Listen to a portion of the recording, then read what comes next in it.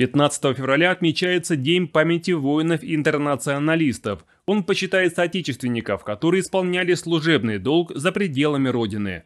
Памятная дата приурочена ко дню вывода советских войск из Афганистана. В преддверии годовщины событий тех лет в детской художественной школе прошел классный час вехи памяти. Очень страшно становится, если слышишь жуткое слово «война». Над планетой, над целым миром тянет черные руки она – Разве это нужно кому-то, чтобы горели огнем города? Учащимся третьих и четвертых классов напомнили об истории девятилетнего противостояния, о том, как далекий Афганистан стал полем битвы для советских воинов, многим из которых не суждено было вернуться домой.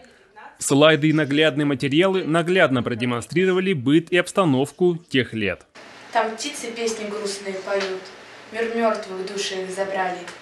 Их матери домой напрасно ждут, оборвалась их жизнь в Афганистане.